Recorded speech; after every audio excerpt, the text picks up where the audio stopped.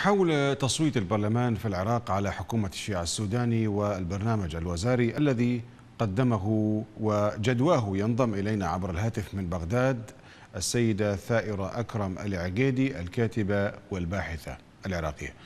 أستاذة ثائرة بداية مرحبا بك.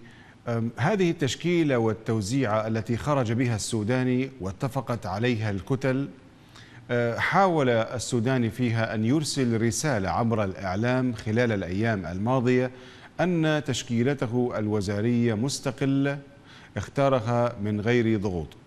إلى أي مدى وأنت أه، تنظرين إلى هذه التشكيلة؟ إلى أي مدى ترينها أنها فعلا مستقلة؟ كيف تنظرين إليها؟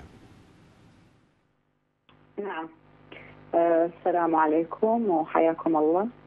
عليكم السلام طبعا رئيس الوزراء آه، السوداني ما هو إلا شخص موظف لدى أصحاب النفوذ الفاعلين واللاعبين الرئيسيين آه، طبعا هو ليس من يختار هو آه، فقط يتبع ما يملي وما يملوه عليه الأحزاب والكتل السياسية.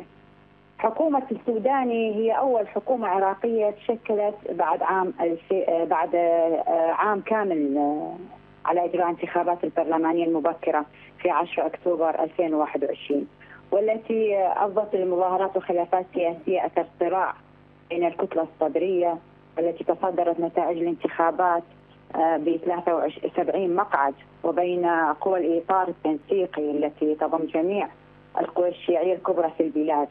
الإطار التنسيقي اللي يتمتع باغلبيه في البرلمان لطالما كان ضاغطا على السودان للقبول بوزاره وزراء فاسدين أو غير مؤهلين.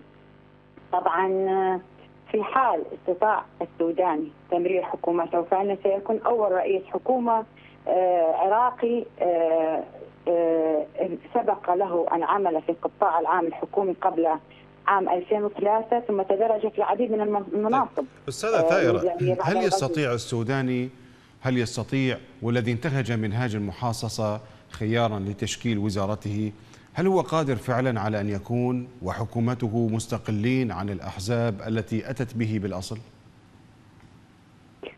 أه، محمد الشياع السوداني هو بالأصل اختير على أساس المحافظة أه، طبعا أه، مهمة السوداني اليوم انتقلت إلى مرحلة العمل بعد أن أنهى اشتباك الشيع الشيعي الذي كاد أن يعصف بتسميته لا بعد إقناعه بعد إقناعه. الأطراف المشتركة جميعا بأن واجبه تجاه قبول التكليف يختلف عن مهامه وواجباته ازاء التشكيل والقيادة. ورغم من كل هذا فإن حكومة السودان هي حكومة الإطار التي آه، الذي يضم معظم القوى السياسية الحليفة لإيران واللي ترأسها المالكي والذي كان رئيس الوزراء لمدة دورتين متتاليتين. حيث أودى بالعراق إلى قعر الهاوية. حكومة كانت الأولى في الإجرام والفساد وهو من سل وهو من سلم ثلثي العراق لداعش وأودى بحياة الملايين من المدنيين من قتل وتشريد ونزوح. آه، آه، طبعا سلطة الإجرام والفساد تعود مجددا بكل صلافة إلى المحافظة والتوافق. وتمكين القتلة والفاسدين نعم. آه، من القرار بعد ثلاث سنوات من الدم والتضحيات التي البرنامج الوزاري أستاذة ثائرة الذي طرحه السوداني تضمن خمس نقاط أولها مكافحة الفساد ودعم الفئات الفقيرة آه، طبعا مكافحة الفساد ودعم الفئات الفقيرة دائما آه، من سبقه كان يتحدث بها يعني الكاظمي عبد المهدي العبادي المالكي كلهم تحدثوا عن دعم الفئات الفقيرة ومكافحة الفساد.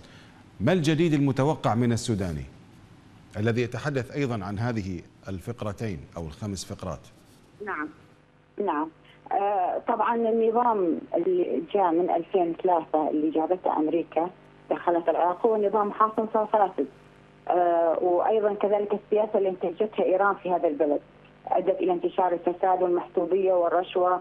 وتغليب الولاءات المذهبية والقبلية على الكفاءات وسوء الخدمات وانعدامها رغم الثروات الهائلة اللي يتمتع بها العراق. وفشل المسؤولين العراقيين المدعمون من إيران رغم مضي أكثر من 20 عام من تسلمهم الحكم في تقديم نموذج مقبول في الإدارة والسياسة.